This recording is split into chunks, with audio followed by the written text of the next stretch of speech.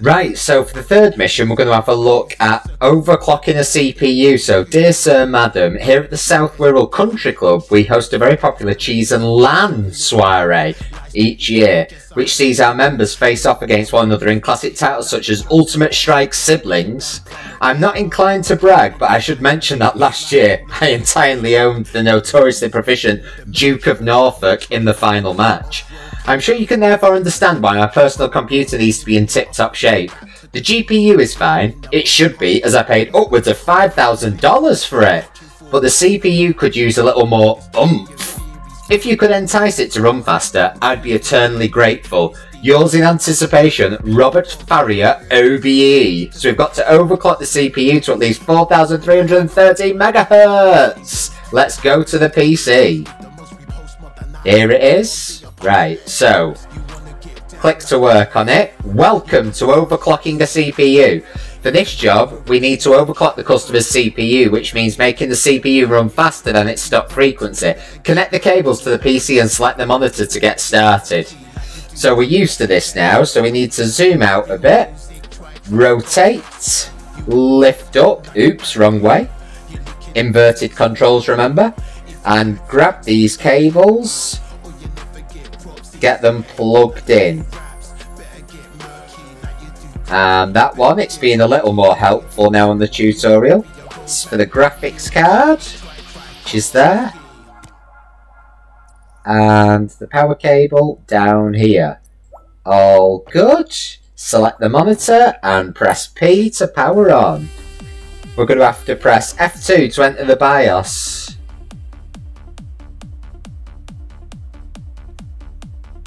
Oh. if only F2 didn't actually turn down our screen, we'll press delete instead. Love it. Uh, welcome to the BIOS. This is where you can see the PC's hardware settings and tweak them to add more power. So CPU OC stands for overclock. Select the CPU OC menu. We're going to overclock the CPU to get more power. Select the CPU OC tab to access the overclocking settings. Let's overclock. This menu allows you to change the settings of the PC CPU. Increasing the megahertz and voltage will make the PC faster, but you have to be careful to not stress CPU too much or it could make the PC unstable or even break the component. Right. Well, we don't want to do that. So, CPU speed. The CPU speed shows how fast the CPU runs and as a function of the base clock times the ratio. So here it's 100 megahertz times 40 to give it 40 4000 megahertz. You could tweak either value to change the overall frequency, but normally you use the ratio for big changes and the base clock for smaller ones. Increase CPU core ratio. Increase the CPU core ratio to 44 times. The CPU core speed ratio is how much faster the CPU runs compared to the base clock. Right, so one, two, three, four, Increase CPU voltage. Increase CPU voltage to 1.35 volts. As the CPU runs faster, it would need more voltage to remain stable. If your overclock system crashes under load, the voltage may need increasing. 1.35. Confirm settings. That looks good for a stable overclock. New settings changes aren't applied to the PC until they're saved and the PC restarted. Click on the settings tab to confirm this overclock.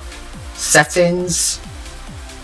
Apply changes. Left click apply changes and restart option to, well, to apply the change and restart the PC. Note that if the PC can't boot because the settings too high, then the machine will blue screen and reset itself to default settings.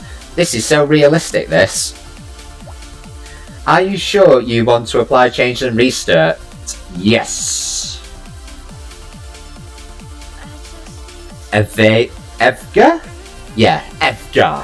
Evga. Omega system. It works! Double click to open the Oct app.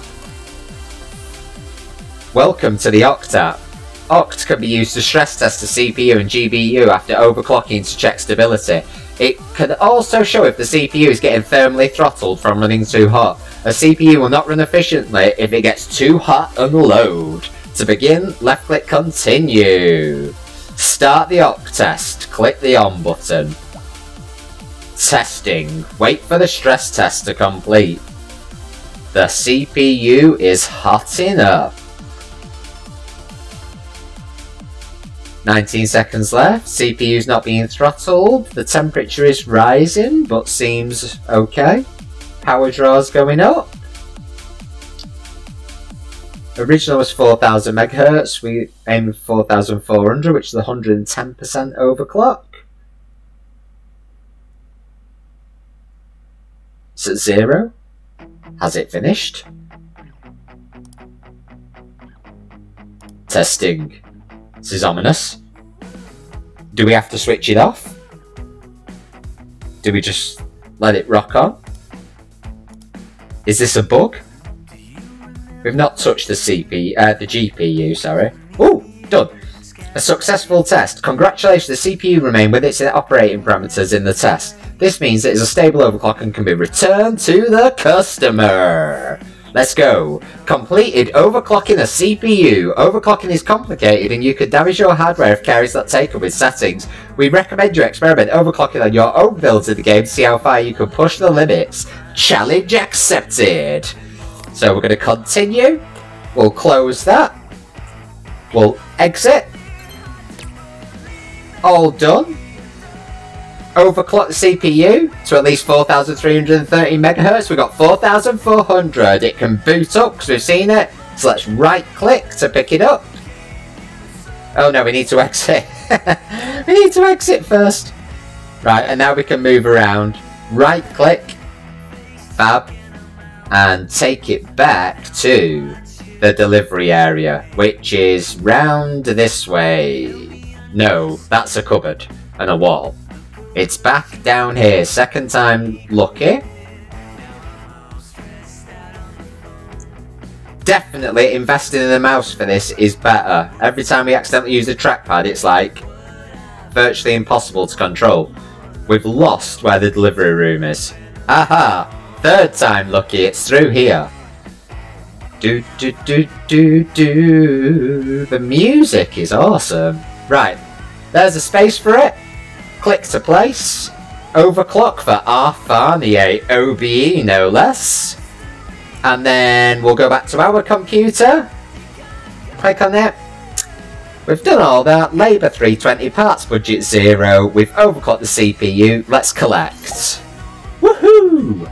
Labour 320, total 320, profit 320. It's got it right this time, and we've got $695 in the bank after job 3. Fantastic! Okay, so that's it for this one, and we will be back with you shortly with another PC Builder Simulator 2 video.